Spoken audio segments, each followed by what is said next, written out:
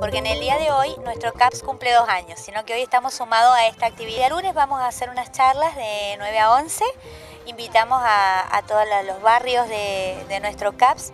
Eh, vamos a hablar sobre la importancia de promoción de la salud, eh, la importancia de los controles en embarazo, los controles obstétricos y el secretario de salud, el doctor Ayala, va a hablar este, algunos tips sobre alimentación saludable. Así que esperamos que se acerque la población para para que charlemos, que nos, nos presenten sus dudas y ver qué otras cosas quiere que charlemos entre amigos en la comunidad.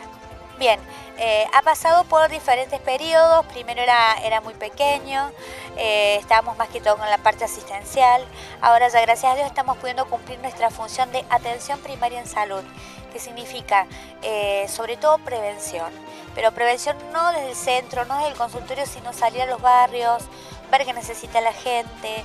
Eh, tenemos la bendición de contar con agentes sanitarias que son las encargadas de, ir a los domicilios, de, conocer a nuestros pacientes, a la gente. Eh, si tienen alguna dificultad con un chico discapacitado por familias numerosas con los turnos también este, se lo facilitan eh, o acompañarlos por ahí a hacer algunos tipos de trámites. Nuestras agentes también este, participan en algunos comedores que hay en, el barrio 200 Vivienda Municipal. Y así como estamos ahora acá, bueno, después, pero más en chiquito nosotras, este, hacemos también recorridos por los barrios.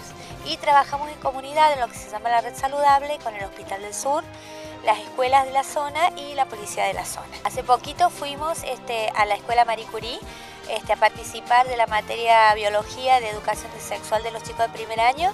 Empezamos una serie de talleres.